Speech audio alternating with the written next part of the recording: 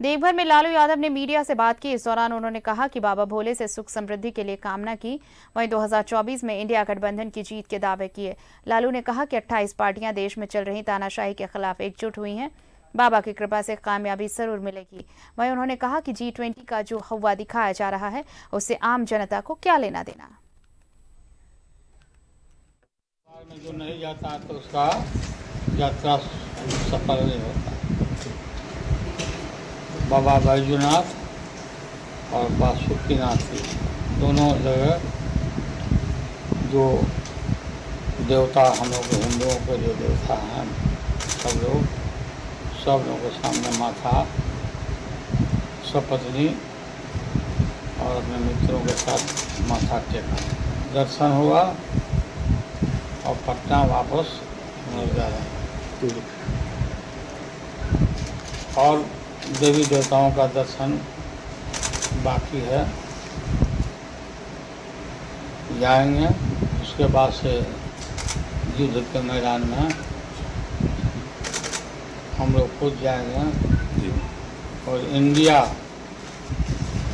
जो संगठन बनाया है हम लोगों ने अट्ठाईस पार्टी के लोगों ने उसके काम को अब शुरू करेंगे। अब उम्मीदवार बनाने का काम, चयन करने का काम शुरू किया जाएगा जो कमेटी बनी है, उसकी बैठक दिल्ली में है।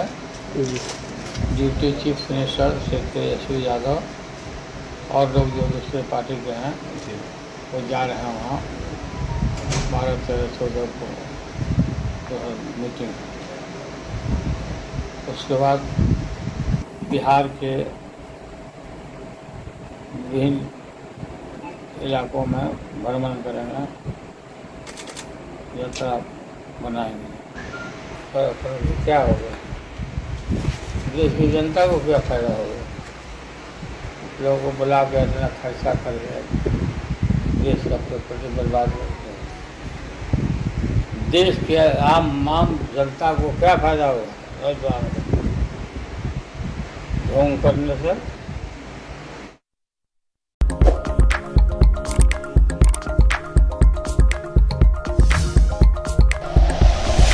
Like and share videos, subscribe करें हमारा चैनल और प्रेस करें बेल आइकॉन न्यूज़ 11 भारत। सच है तो दिखेगा।